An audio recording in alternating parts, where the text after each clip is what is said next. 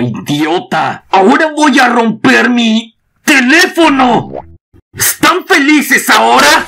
¡Puta madre!